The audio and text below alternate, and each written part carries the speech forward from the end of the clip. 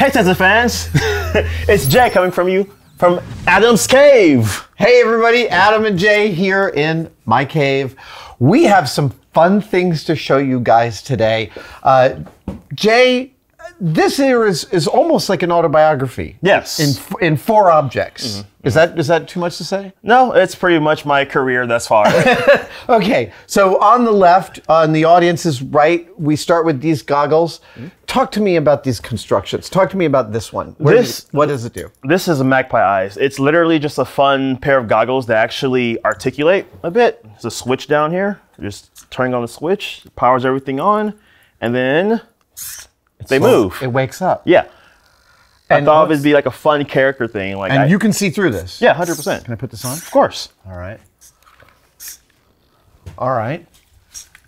Now, what were you watching when this came into your head? What was going on? Okay, see, this is the funny thing about this. Um, when I originally made the first ones of those, because those are the ones I made for Make Magazine, because of course Okay. I, they put me on Make Magazine thanks to these uh, these fun little goggles. Yeah. Um, but the funny thing about it, it was during um, COVID lockdown, Yeah. and of course a lot of things happened with COVID, and um, I was actually talking with a friend. Uh, one of our friends, our makerspace, had sadly passed away, and it wasn't due to COVID. It was a strange incident.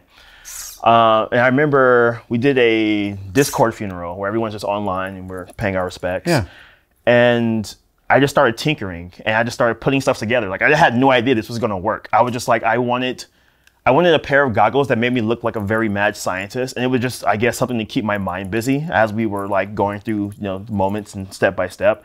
And at the end, I had them done, and I just put them on. I just did a quick like recording, Yeah. and people loved it. And this was sort of your way of processing the grief Mm-hmm. a little bit. hundred percent. It was just me. Like I'm very hands on when it comes to things. Like I Yeah. talk with my hands a lot. Yeah. Like when things are happening, sometimes and I just don't really know how to comp or feel. I would just start taking things and just start messing with them, playing with them. I would just start sticking things together to see what happens. And those came out of it, and I was like, these are so fun. They look like a crazy character's like goggle set. Yeah. I love that. I mean, there's a way in which I, I'm still doing the same thing, processing my emotional states at the bench, or or compartmentalizing them so I can feel some sense of control hmm. or some sense of balance, and then I can kind of handle the thing as it's coming. It sounds like this almost sort of just like burst out of you. Yeah, hundred percent. It was, in my opinion, it's my first really big successful piece. Yeah. because it it just got me so much attention. Yeah. which I was already slowly building up my whole network and stuff, and then I just made these, and I wasn't expecting them to be that popular. I was like, oh, this is just something I like put together willy nilly just Yeah, for kicks yeah. and giggles, and they were like, people just loved them. Well, and so people start to comment on them, and I'm oh, I'm fascinated by what happened to me when I was a young maker, and people were commenting on my work. I was mm. surprised that they had an opinion about it. Oh, yeah. Did you find that? Yeah, I loved it. Though. I was just like, oh my gosh. I was like, oh, it's so cool. You should do this, do this, this, this. And I just like, I took all the information in. I just loved it. I wrote it, wrote it down. I am still planning upgrades for future versions of this. Yeah, yeah. And I just, it just blew me away. I mean, there's also a real there's playfulness to it, but there's a purposefulness. Like your lines are very um, delineated, Mm-hmm. right? You're you're making the part exactly the. How do I say this? There's a there's an aesthetic to every designer's Yes. excursion, and I'm cu- uh, given that this sort of burst out of you. I'm curious what you learned about your aesthetic once this was once this was done. Well, it's funny thing about it because like I'm a big fan of steampunk stuff, of course, Yeah, yeah. and like to me, steampunk is my happy place because Yeah. steampunk is just the fusion of science and art. Mm-hmm. So like every time I'm like down or whatever, or I feel like that thing, I will go to a steampunk design just because it just brings out like both creativity, joy, hope. It just looks pretty. Yeah, yeah. So am I guessing that one of the upgrades you want to do on this is make these actual irises? Yes, um, there's still an iris in there, and like uh, I'm not turning it on or anything. I can like force it a bit here. You can kind of Oh, it actually Yeah. does. Wow. Oh, dude. It like actually does it, but like the servos I'm using for this one because this one is such a uh, quick build. Right, they're not. right. They don't really go around strong enough yet. I see. Sure. I've and plus they have this like little issue here. I've noticed where it's a straight line, so this Yeah. right here blocks it. So Yeah, yeah. my future plan when I redo these is of course make this a little tint, you know, like bend it a bit this way I can like push this over more. That way I can get more of the iris. What is this? Uh, how how long ago did you make these? I made those. What was it? When was the lock? The big 2020. Uh, early I wanna 2020, March of 2020. Yeah, early 2020 is when I really like sat down and made those. That must have been Right, I see now. Right, you make these in lockdown, you put them up, and all of a sudden you get all of this feedback. Feedback was what we were all craving. Yeah. mid, mid 2020, right? Everyone was on the internet. Everyone was on the internet, and it was exactly like that. Okay, so how far after these beautiful glasses does this guy come along? This comes along. I believe I finished this one last year. So I have a history of building spider robots. Oh, you do. I have okay. a big history. You This is a habit. Yes. Oh, I don't like anything staying the same for too long, so I always go back and make upgrades. Sure. Like I don't just switch to new idea, new idea. I'll come back to an idea and be like, okay, I'll learn from this. Let's upgrade this. Okay, all right. So this is actually Aussie V13. Can we turn him on? Yeah, of course. Oh, he's adorable. Yeah, he's a little spider guy. So, um, of course, I focus a lot on wearable robots, and my first one was a spider um, Aussie based off of um, the African folklore tale, tale of the uh, spider god Anansi. Okay. So that's why I got the idea for originally. But then I kept making more of these, and now I'm up to version 14. 14. This is number okay, It's genuinely a habit. yeah, I, it's a bad habit. I haven't broken it yet. I don't think I will break it. I don't think you should. I don't think you need to on this one. Eh, He's not actually mobile. His It's actually not just posable right See, now. the cool thing about the ball joint legs, this is how I got my idea for this, is when I originally designed them to be on my. Oh, let me put these down for a second. When I originally designed them to be on my shoulder, um, I had legs move, but then it kept kicking me in the face, Fair enough. which is really, really annoying after one point. So I designed this one to um, not have that problem by making the legs ball joints. Okay. And then the cool thing about this too is like I would used to take this and just put it on my head, Yeah. like just cool and just set the legs in like a fun way. And since they're ball joints, they actually hold on very well, believe it or Oh, not. Nice. Yeah. So like I would just stick it on my head and then like I would just go out and just do stuff. I know, just, just- love the way he looks around. Yeah, he just looks around. It's like very. It's funny because um, I love human brain when it comes to general because we have such an imagination. Yeah. And all it's doing is panning. It's just looking back and forth. That's that it. He's not responding to not responding to anything, but everyone else thinks he is. Yeah. Like I, I've done like video calls and like gone out and just had them on my head just for kicks and giggles just to see what people's reactions are. And I always get like, is it looking at me? Oh, it's cool. What's it doing? Blah blah Yeah, blah. yeah. And then I'm just like, oh, it's just looking around. It's just No, you're- it's you're- a fashion piece now. It's funny that like you just sat there and wrote a little bit of code about panning every X seconds under these circumstances. Uh, and it really does feel like he's responding to us Yeah. He's like he's looking around and stuff, and that's why like I love the ball joints too, because like thanks to the ball joints, it hel- it holds really well, at least with my hair. I'm not sure if everyone hair works like that. I haven't haven't had the chance to start going around testing hair textures, but like having it on my hair like this on my dreads, I've just been like pull the tail down a bit, and I'm just like, hey, you know, walk around with it. I'm curious. I notice an aesthetic detail here. I love his, um, I guess, thorax ish. Yeah. I really dig the shape here and its balance here. Um, there's also this like really interesting love hate on the internet with spiders, right? Like half of posts about spiders are like, check out this monster somewhere in Australia. It's always Australia. And the other half are like, check out the cutest little jumping spider I photographed in my garden, Yeah, right? yeah. And you've sort of met, somehow done a mix of both of these. I like spiders. Like I said, I originally did it from the tails, but at the same time, spiders are like natural artists in their own way. Dude. They do the really cool webs. Like we all love Spider-Man. It's just we have that weird sense of like there are so many legs are so hairy that we instantly think it's dangerous. Yeah. So I guess that's like a old school Neanderthal thought from I had a spider phobia for years until we did that episode in which I had to get bitten by a spider. And uh, once I got bit by a spider, I was no longer afraid, and I can climb walls. See, like I. Saw what you did there. thank you, thank you. All right, so post the spider bot army that you're building. Tell me about this beautiful guy. This was This is super elaborate compared to these. You've got Yeah. a lot more aesthetic stuff and wings going on. Yeah. Uh, sadly, this one doesn't work like it used to. It's very, I wouldn't say it's old, but like this was my attempt at a one day build. oh, so it's a quick and dirty, blasted out kind of build. I literally sketched everything out. This was um this was a freelance uh, gig I had at the time, and I was like, cool. I just have to build a quick little robot, and I was like, I'm going to test myself for a one day build. So I sketched everything out one day, catted it one the next day, and then put it all together. So technically, it was a three day build, but I'm calling it a one day build. hey, look, every everyone that builds a three day build. So I tried to do my own version of um, Archimedes from um, the movie uh, Clash of the Titans. So originally with this oh, one, now I see. the uh, eyes actually used to turn because they actually have like a servo gear in one of the eyes, and then the wings used to like open up from a servo pulling backwards. Right, right. Right. And they would like open up and stuff like that. I have previous video when it was functioning, but of course over time of neglect from me not messing with it anymore, it just kind of like stopped working. Well, that's I mean that's part of the thing with a with a with a quick and dirty build is that it's just it's. Jamie used to say uh, when we did stuff for the show, if it breaks the moment we're done filming, we've done exactly our job because we've expended no extra energy.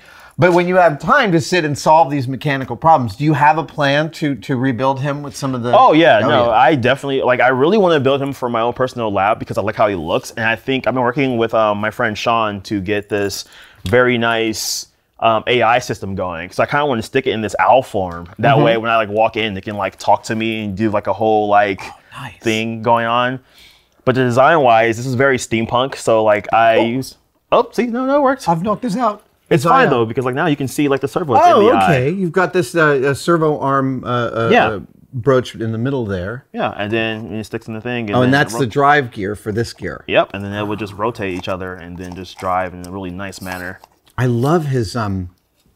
These aren't quite RoboCop legs, but they feel a little like the second RoboCop villain, Cain. Oh, yeah. RoboCop 2. Well, it's funny thing about it because when I was making this, I was watching one of your old videos where you were messing with your lights. Oh, so yes. like, if you notice Oh, you the use body, Lockline. yeah, I used Lockline with some metal wiring in there to actually give it the strength. That way, it can like hold itself up.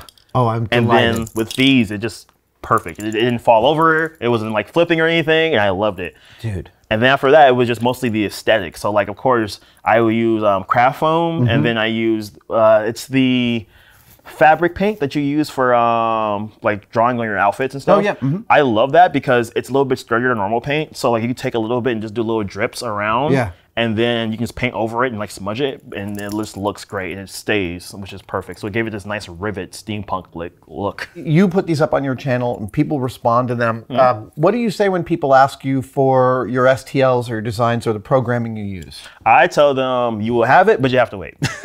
But you, you do want to su- Oh, yeah. supply that. I am 100% open source. That's kind of one of my big deals. Even working with my uh, company I work now, work with now, DigiKey, was part of our deal. Is everything I make will be open source. Oh, that's wonderful. So all the coding, all of the the STL files and stuff like that. Sometimes I don't put it out right away, just because there's some things I want to make sure it's crystal clear. Oh, sure, yeah, Because yeah. sometimes there's something wrong, or like sometimes I've like messed up on an STL file, and then the file is like messed up, so I have to go back in and fix it. Yeah.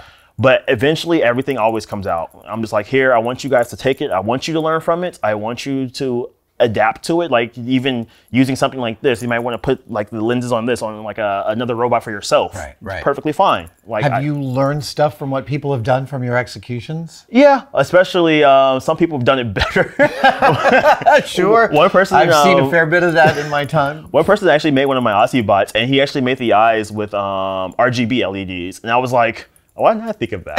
it's like yeah, totally. it's one I was like I just picked one color and was like done. And he was just like, oh, now I can change color and I can change it with my phone. And I'm like, Oh man. I didn't think of that, man. so much. There are so many builds on the RPF where I'm like, oh, this build is really cool, and they'll be like, I was inspired by Adam's video, and I'm like, man, what they're making is so much better than what I made. But it's just it's the thing though. Like I get euphoria from seeing people take my ideas and then apply it to their own concept. That's an And endorphin rush for you. I love it because one, it shows that like what I'm doing is important. Right. And it's resonating. Yeah, and two, it shows that people are still learning. Yeah. Like I I went to art school, so like technically I'm an artist Yeah. by trade, trade.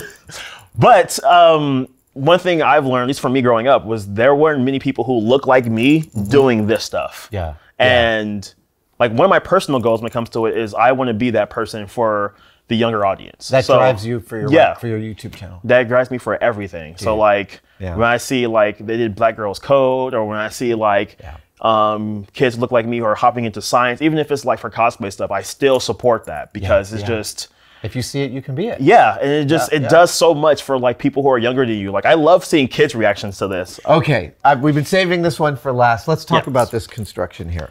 This one is my personal current favorite. Um, I call Project Helen. This is your current obsession. Yes. Now we can uh, slide this whole thing over here. All right. So this is Project Helen. It's a robot that I built inside of a backpack. Okay, so it's a combination of a backpack that you're wearing with a robot on your shoulder, and the the it, the brain and the power are all coming Yep, from all the on the backpack. back. Okay. So it's really uh, a cat backpack that I took and I altered it because I was like, cat backpacks look like spacesuits in Oh, my this opinion. This is a cat. This is for to take your cat around. Oh my God! You should take your cat around on one of these. I- Sorry, camera. no, it's totally fine. I if I think about this, I found this at a um at a sale because it was uh what is those a thrift store. I go thrift Okay. storing sometimes, and um this was on sale at a thrift store, and it was just like kind of like beat up a little bit, and I was like, it's perfectly fine. of course, it's perfect for you. You were like, I've got to build into this. Yeah, I was like, this looks like a spacesuit. Like I'm gonna take this. So like I took it and I started like I spray painted this on it, started 3D printing some stuff. I tinted this with Yeah, some spray yeah. paint. And then I added these little switches down here, which are what control the robot that is on the shoulder. But um, the reason I call it Project Helen was because the part was very expensive. It's using something called the OpenMV, which is like pocket facial recognition and pocket like easy uh, machine learning. So this thing here has facial recognition built in. No way. Okay, can we turn it on? Yeah. Tell so me, tell me about its functionality. That is awesome. we have to turn on in sequence. So it's the red button first, which Yeah. is turning on the camera, and Yeah. then the blue button turns on the servos. Okay. So it looks, it starts looking around as soon as it turns on, and when it sees a person, it'll either play a note, and these little LEDs light up. Oh, can I stand in front of it? Sure. All right. Let's do this. Let's see if it actually sees you. I'm not sure if I have to clean the lens off or not.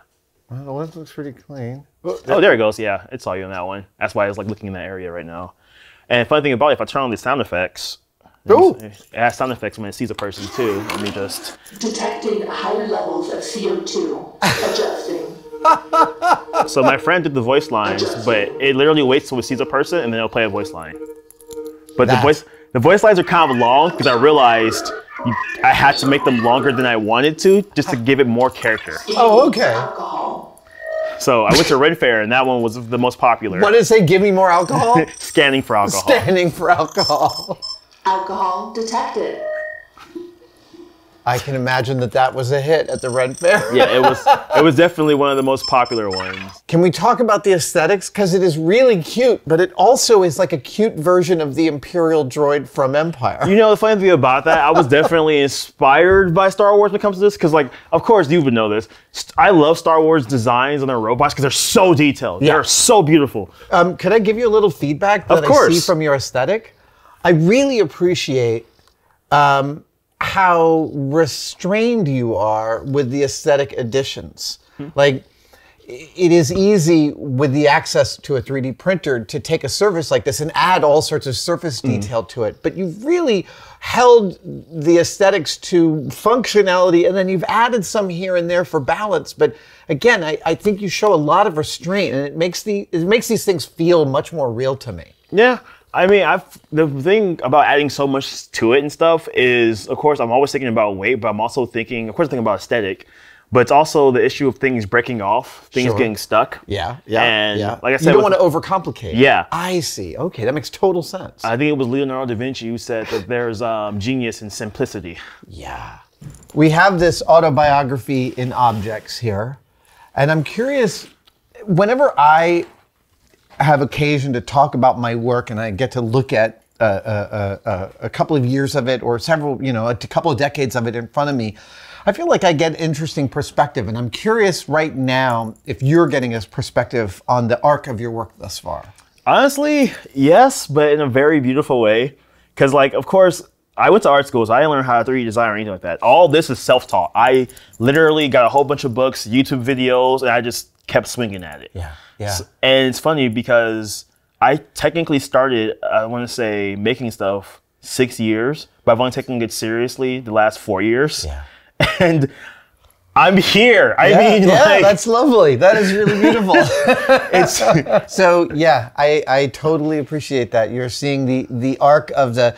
Uh, you're talking to past you and being like, you have no idea how cool it gets. Yeah, like it's definitely one of those moments. If I saw a young me, I'd be like, "Keep going! You have no idea how cool things go." Jay, I, I have some idea how cool things can get, and I cannot cannot wait to sit here again in a couple of years and see more of your work. We we got a collaboration. Oh, yes, on yes, now. yes, Uh, yes. dude, it is really really inspiring to see this. Thank you so much for Oh, thank bringing you. it here for and me. and uh, letting your bots run free in the cave.